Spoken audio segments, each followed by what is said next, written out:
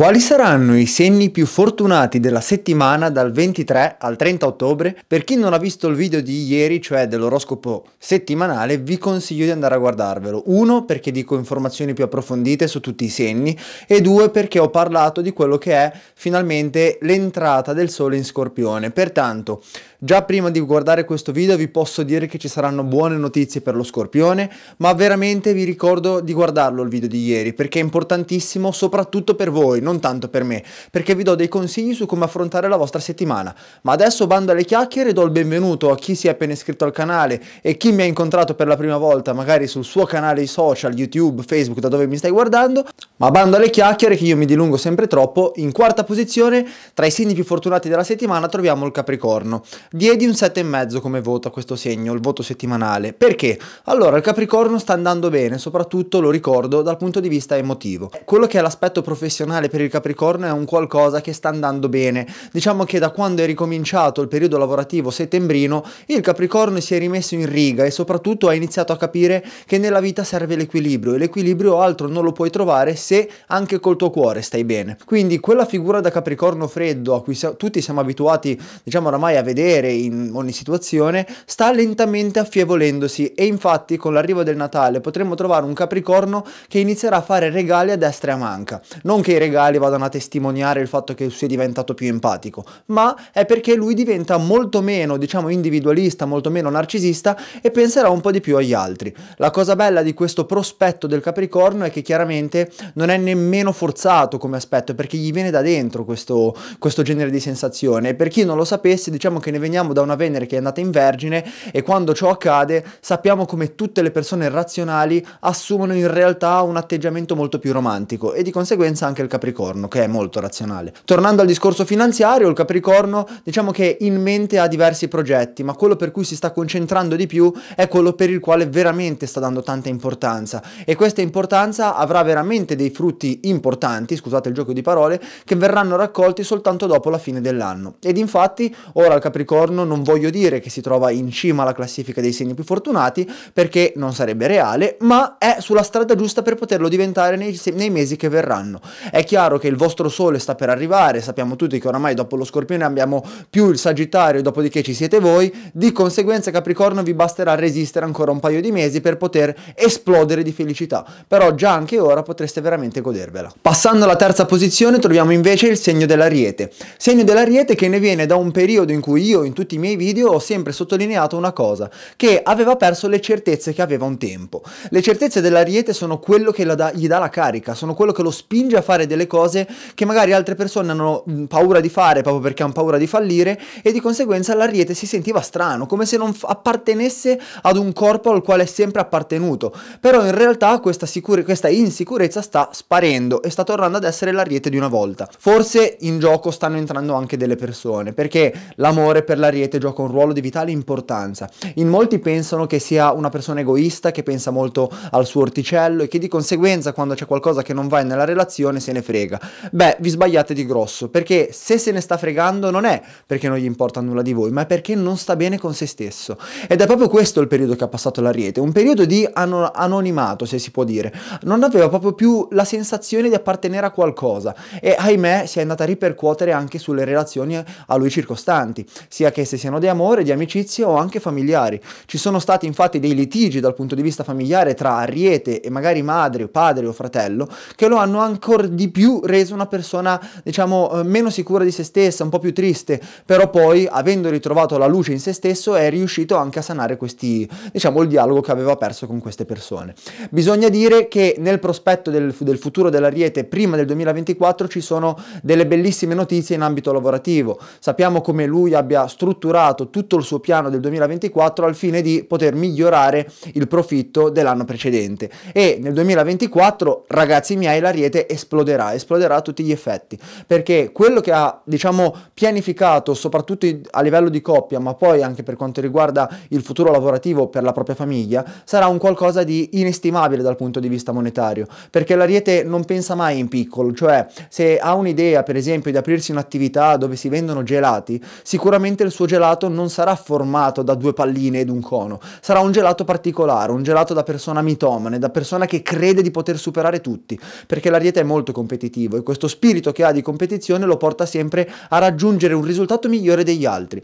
Per cui Ariete sappi che questa energia che hai la devi sfruttare sempre e comunque senza però trascurare chi ti ama, ma la cosa più importante è che non devi mollare mai tue, i tuoi pensieri, i tuoi ideali, anche se qualcuno ti vuole influenzare negativamente. I distruttori di sogni sono sempre dietro l'angolo e questi ultimi bisogna sempre evitarli, non dare mai adito alle persone che non, non credono in te. Scendiamo ora al secondo posto, quindi la medaglia d'argento se la giudica il segno dei gemelli. Io ho dato un 8,5 come voto settimanale e il gemelli se l'è andato a meritare completamente. Potevo anche dargli 9. Ho dato 8,5 perché mi sembrava più adeguato, però ragazzi il gemelli sta andando molto forte. Diciamo che il suo spirito di curiosaggine lo sta portando a diventare una persona molto molto propositiva. Avete presente quando qualcuno gli viene in mente un'idea e poi vabbè lì per lì gli passa per l'anticamera del cervello, magari sì sì la prossima settimana la approfondisco. No, il gemelli non farà più così. Cioè il gemelli quando ha un'idea che gli scatta nel cervello, bam, ci va dentro subito ed inizia già a fare qualcosa, inizia a coltivare qualcosa. Questo perché il gemelli si è stancato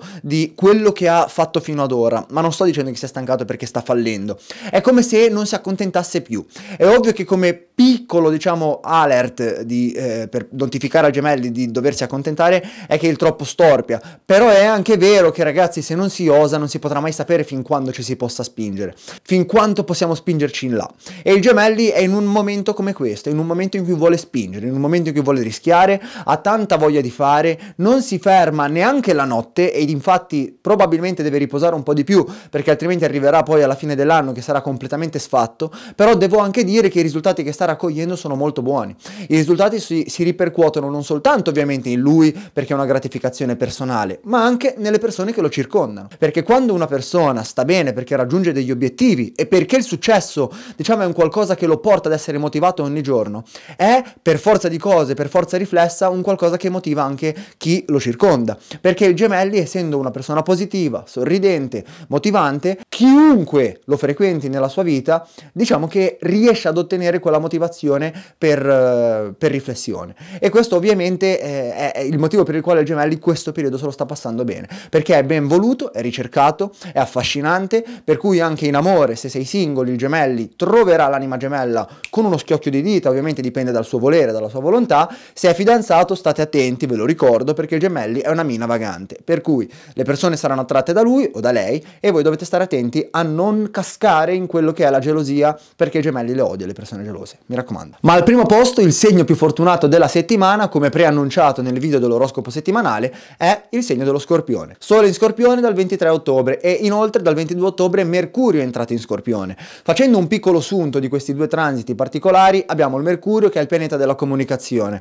La comunicazione, come ben sapete, ha domicilio in gemelli e come ben sapete il gemelli è al secondo posto dei segni più fortunati. Per cui abbiamo un exploit a livello dello scorpione, perché lo scorpione diventerà un comunicatore, ma diventerà un comunicatore brillante, brillante, intrigante, magnetico, con quel suo modo di fare dello scorpione da persona talvolta subdola, però comunque un grandissimo venditore per quello che ti sta dicendo, che le persone non potranno fare altro che cadere ai suoi piedi.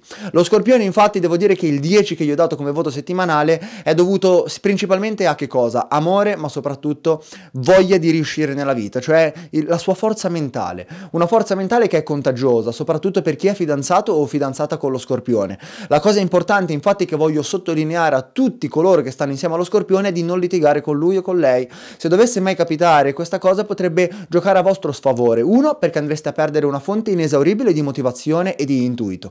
Ma due, perché lo scorpione è in una situazione in cui potrebbe realmente maledirvi soltanto guardando. Perché la sua energia è una, è una magia che talvolta sfrutta anche le onde elettromagnetiche. Non chiedetemi come neanche il perché. Il bello dell'astrologia è proprio questo, perché i segni dello zodiaco vanno un po' a periodi e quando lo scorpione entra nel suo periodo è letteralmente una, un carro armato fatto. Ma ragazzi, lo dico che ho i brividi al braccio, ve lo giuro. Perché lo Scorpione è fatto così, è dominato da Plutone e da Marte. Plutone è il pianeta dell'oscurità, il pianeta dei segreti oscuri, come Marte è il pianeta dell'azione. Pertanto lui riesce a farti arrivare con un'azione oscura quelli che sono le sue voglie, quelli che sono proprio i suoi voleri dal punto di vista spirituale.